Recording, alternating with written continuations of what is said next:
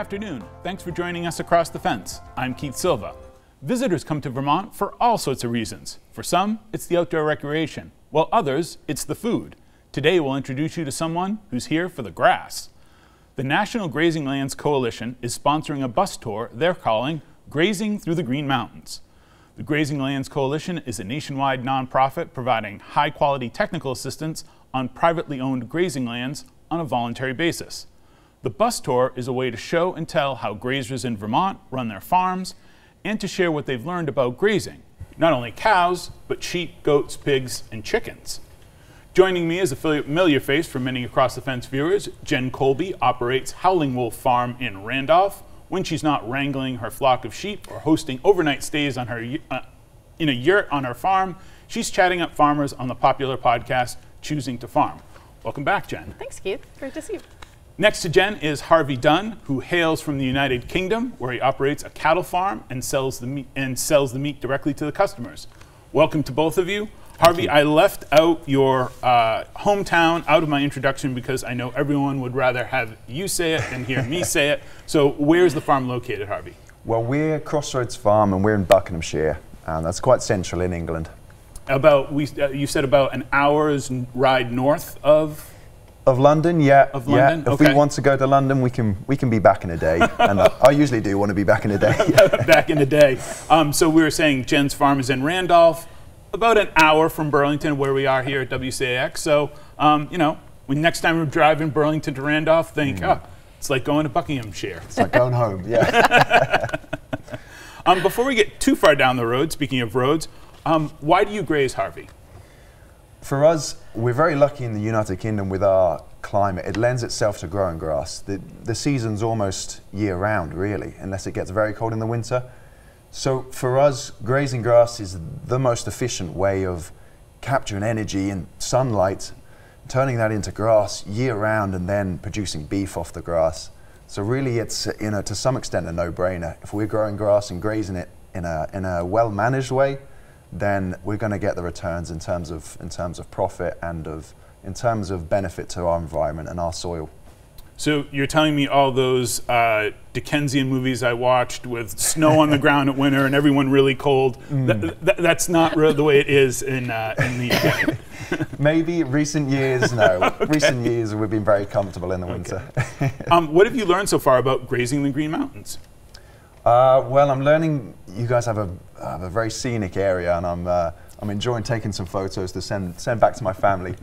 Um, I'm also learning you guys have had a wet summer, and uh, some some people I've met are more happy about that than others.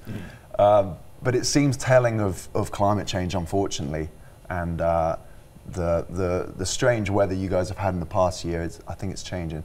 So I'm learning that the farmers that we've seen this week are really having to adapt to that and uh, are willing to change their business in order to, to cope in the coming years. Mm. And uh, how is that in the UK? Are you having the same sort of weather, maybe not the same weather, but the same sort of uh, trying to prepare for a changing climate? Yeah, I think we are. It's, uh, it's slow changes, but I think uh, the sad thing is that it, if without change, I think people will get left behind. So either by uh, voluntary change or by getting forced to in the end, people are going to change their practices. But regardless of what method, I think it will be for the benefit of our food system and our country and our farmers in the long run. Mm. Jen, talk about the sponsor for Yep. the tour, the National Grazing Lands Coalition. Uh, how do you work with them? Uh, yes, so I, when I was with University of Vermont Extension, um, I went to the National Grazing Conference several times. Um, the National Grazing Coalition uh, is the organizer of that. Mm. They do grazing programming all across the country. Um, they had great conferences, and last year I uh, joined their board as a as a regional advisor for the Northeast. So I have had the, the great fortune of being one of the local hosts for that and helping to work with the farms and be a local liaison um, and also begin to get some of the Northeastern farmers connected to more of the Western farmers and ranchers. We were talking about the organization, how they offer technical assistance about grazing, and basically everything I know about grazing and grazing cattle, I've learned from you. Uh, it's not very complicated. Cows were built to eat grass and graze. So, what sort of technical assistance does an organization like this provide? Oh goodness! Oh, great question. Uh, so, so yes, it is absolutely true that that cows naturally do know how to eat grass. it's true. That's how they evolved. Mm-hmm. But in nature, cows have predators that move them, that keep them moving along to find fresh grass and let the existing grass be able to rest and recover. Mm.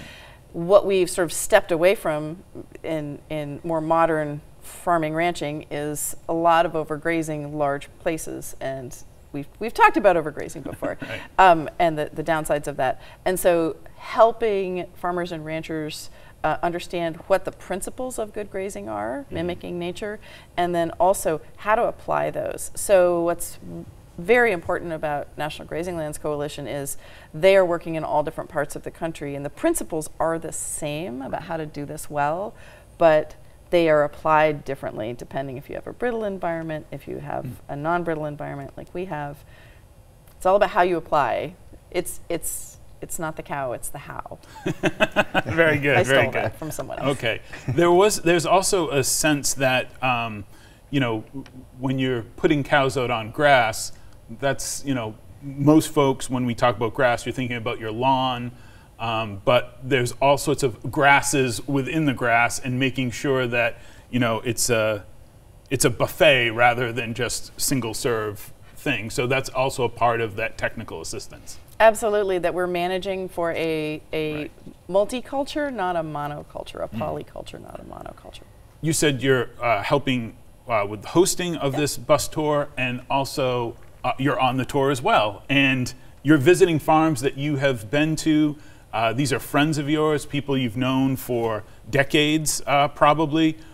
What have you what what can you learn? I mean you know these people they're friends of yours you visited their farms. What are you learning on this tour?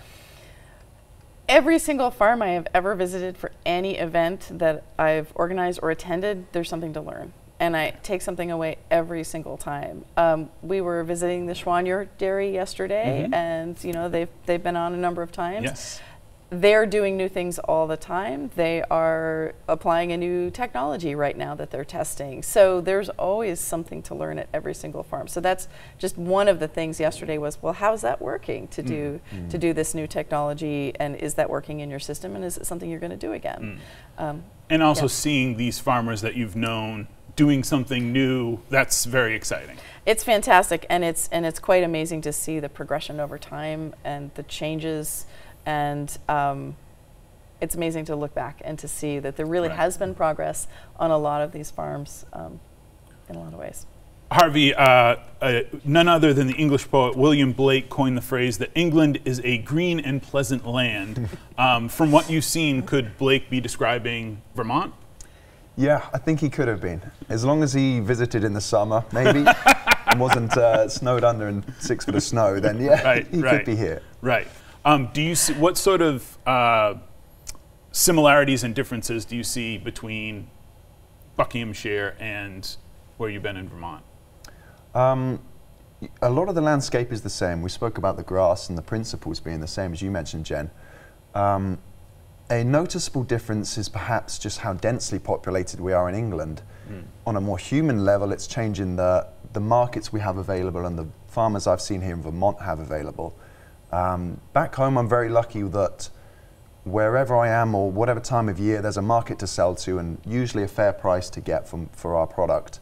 Um, I'm inspired by some of the farmers we've seen, how willing they are to, uh, to change their product or change where they are to, to fit their market because they understand that if there's not people to sell to, they're, they're not going to make any money. Mm. And uh, in more the rural areas, they're, they're having to change their supply chain a bit and maybe sell their product at the gate or to, uh, to another corporation, but they're willing to think about that and they're proud of the product they make. Do you have the same uh, in, in Vermont? And I know working with UVM Extension, there's a lot of interest of always where does your food come from? Making sure people understand mm-hmm. it doesn't come from the supermarket, that it comes from a farm, that there's there's many hands behind this yeah. doing this work. Do you have the same uh, sort of uh, thing going on in England, or this sort of understanding where food comes from? Yeah, I think historically, or maybe not historically, but in recent history, maybe that's been lost, but I feel a, a real groundswell of movement now that uh, people rightly care about the food they're putting into their bodies, and they, they should care about that, and they should have the right to, to ask, where's this food come from? How is it produced? Right. You know, who's making it? And, uh, and as farmers, I am, and I hope everybody should be, really proud to be transparent and say, look, this is how we do it, this is Right. what we're making, and uh, we're proud of it. Uh, Jenn, um, what? So you know, you're on a bus. To, Har- you and Harvey are on a bus tour right now, driving through Vermont. As we sort of drive through Vermont, maybe that hour back and forth from Burlington to Randolph, people see cows grazing in a field. Is it more than just a marketing tool for a company? What should we be thinking about when we're when we're seeing a cow grazing? That should register how for the average non-farm person. Absolutely. So I think that when uh, the, the average person looks out and sees cows in the field, they may think about it, they may not, they may just say that's that's just that's a lovely bucolic scene. Right. Um, but if they see a group of cows bunched together, that's not a bad thing. That's actually a good thing. Um, it means that the grazing is typically managed. Okay. If they see messy pastures, if they see you know a little bit of overgrownness, that's not necessarily a bad thing. That actually is Okay. a sign of good pasture management. Can be. Um, and always that animals out in the landscape, when managed well, are making things better. And that's what we want. We want animals on the landscape so that they can improve water quality, improve soil health, all of all of the things that we want. Well, it's gonna. It's time for us to move on to other pastures. I want to thank uh, the crew here at WCAX for making this program possible, and as always, thank you for stopping by across the fence.